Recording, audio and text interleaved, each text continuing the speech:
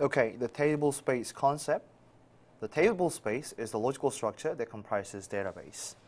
Altibase HDB provides a data file, and that data file is where data is saved into. The data file is a physical storage for data, but the table space is a logical storage to manage data. So the table space not only, not only contains the table and index, but also other database objects such as page lists, constraints, and etc. The table space is assigned for objects such as table and index once they are created, and they can be expanded inside the table space. Okay, so in, in order to run the database, at least one table space is needed. I'll show you which table spaces are needed, the types of them, the architecture, and how to manage them in the next few slides. Okay, now we're going to talk about the storage architecture of Altibase HDB. Okay, the term HDB will sound unfamiliar to you. The term HDB stands for Hybrid Database. Okay, it basically means the combination of memory database and a disk database. So we use disk area for the large capacity of data storage and memory area for the high performance of data processing. So we use disk and memory together from one single database engine. That's why it is called hybrid. And because it is hybrid, it is divided into disk and a memory separately. So mainly we have two table spaces, which are disk table space and memory table space. As you can see from the diagram, the disk table space has different structure compared to memory table space.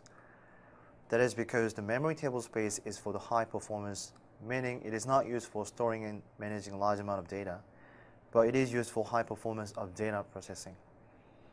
That is why storage architecture only comprises a table space and a page, which is quite simple. Okay, the page is the smallest unit, like a block in other DBMS, and in a memory table space, it is 32 kilobytes. Okay, the disk table space is used for storing and managing large amount of data, meaning the large amount of data has to be managed well in order to store and manage them efficiently. So a single disk table space contains multiple segments, and a single segment consists of multiple extents. A single extent consists of 64 pages.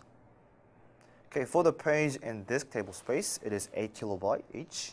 So the size of single extent would be 512 kilobytes. 8 kilobyte times 64 becomes 512. Okay, the types of table space. First of all, they are mainly classified into data property, whether it's memory type or the disk type.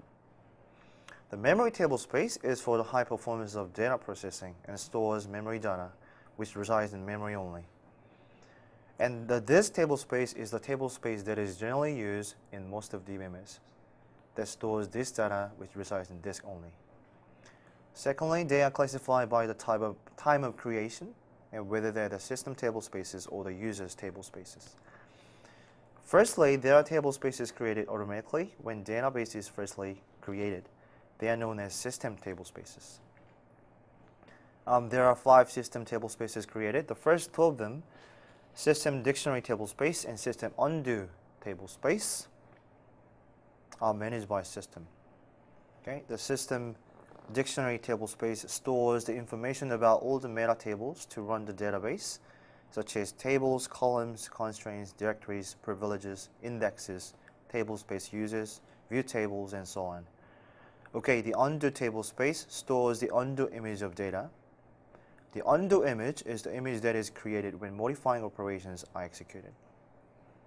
Okay, the other three of them can be used by both sys user and the general user.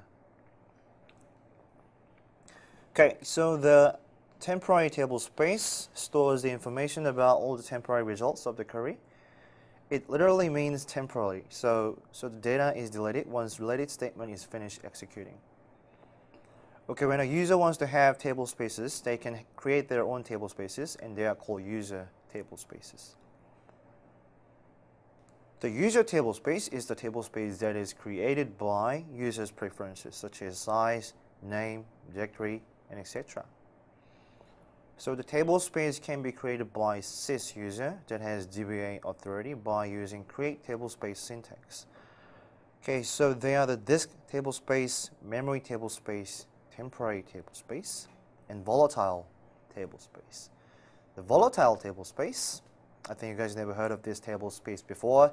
Like memory table space, this table space stores data resides only in memory. But there are no disk components, so it provides faster performance of data processing than memory table space.